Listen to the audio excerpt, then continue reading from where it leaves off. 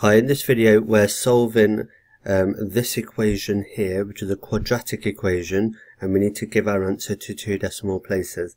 Now, the fact that we've been asked to give our answer to two decimal places implies that we're not going to do this through factorising, but instead we're going to use the quadratic formula. And this is the quadratic formula over here. Now, our first thing to do when we're using the quadratic formula is to write down what the values of a, b and c are. So it says here ax squared plus bx plus c, and we match the a, the b, and the c to this here. So a is equal to 4, b is equal to negative 6, and c is equal to 1. Now, the other thing that we want to do is we want to identify what this bit here, which is called the discriminant, b squared take away 4ac, we're going to write down the value of this so that it's easier to use our formula um, when we come to use it. So b squared take away 4ac is equal to, um, and I can use my calculator for this if I want to, so we'll do that. Okay, so b squared take away 4ac is going to be a negative 6 squared. So remember, when I put this into my calculator, because it's a negative number, I'm going to put it into brackets, negative 6 squared, b squared, take away 4 times a times c. So that's going to be 4 times a, which is 4, times c, which is 1. and that gives me 20 okay so I can put in 20 over here. So that's my value of b squared take away 4ac I'm now going to write down my equation twice once where I'm adding and once where I'm subtracting.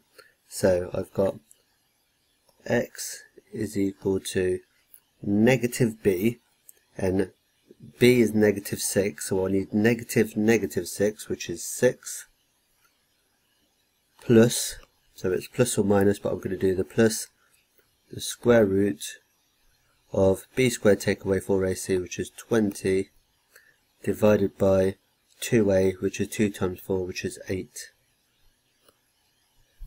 Okay, and I've also got x is equal to 6 take away the square root of 20 divided by 8.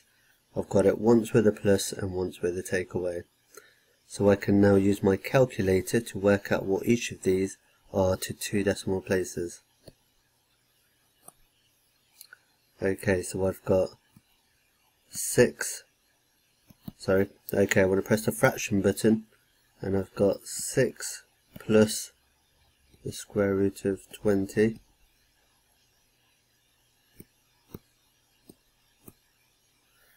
divided by 8 and that gives me to two decimal places. That's going to be 1.31 write that down. 1.31